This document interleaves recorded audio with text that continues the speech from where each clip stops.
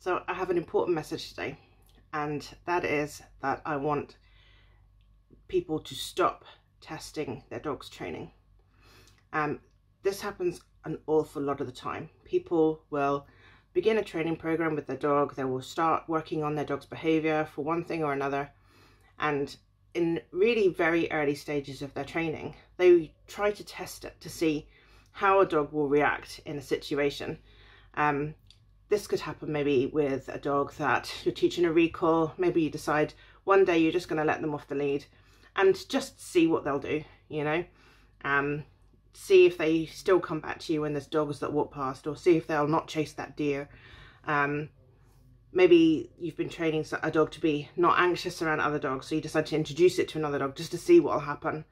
Um, and recently a colleague of mine um, had a dog that was also tested midway through their training. Really, it was far too early for that poor dog, and they were left with a, a workman that had come into the house. Um, this dog was really anxious around strangers, but they had made some progress. They were um, midway through a training plan, they were doing things. Um, but on this day, they decided to see what would happen if they just left him loose in the house with this workman. Um, and this did not end well. The workman got bitten by the dog um, and he made a complaint and um, the dog is going to get punished for this. Um, there's no way around that. The dog is um, has been put at risk by this family, and that was a real shame because that didn't need to happen. We didn't need to check that. That dog could have been kept safe. They could have advocated for their dog. They could have kept him out of the way. He didn't need to be anywhere near that workman. Um, your dog, when they're partway through their recall training, does not need to be tested. We do not need to test our dog at the front door to see what they'll do when Granny comes in. We don't need to have Granny getting knocked over just to find out if our training is working yet or not. Um, we need to trust in the process. Um, we cannot risk testing our dogs at this level to see if they're going to do what we hope they're going to do if we're not sure. And it's so unnecessary. That workman did not need to be in the house with a loose dog. He just needed to get on with his work and he needed to go. And that's really all that needed to happen. And I hear about this happening all the time. The Tesco man gets, the poor man, he has things tested on him.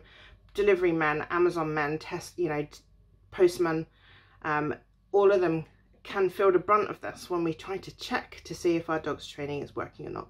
And we can check if our training is working or ourselves. We can recreate situations. Um, we can have people volunteer that our dog knows really well. We can use long leads we can make situations safe so that we are able to keep testing this.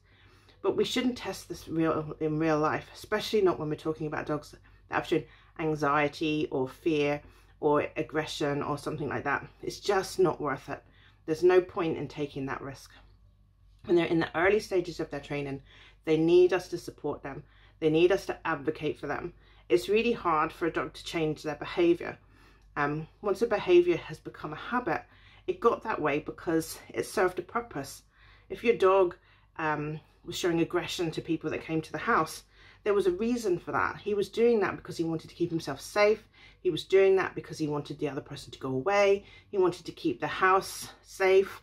You know, there was lots of reasons behind that behavior and it worked. So once we try to change that, we're giving them alternative behavior. They have to really put a lot of trust in us to stop doing something that's worked for them in the past so many times. And, you know, it doesn't have to be as serious as fear or aggression. With that recall problem, a dog that's run off on a recall when we've called them is maybe just going off to play with his friends or he's just following a scent. He maybe isn't even going very far. He's just finishing off sniffing something that he was interested in in the ground. But that's rewarding for him. That's fun. That's what he wants to do. It's much more fun than coming back to us for a dried up dog biscuit.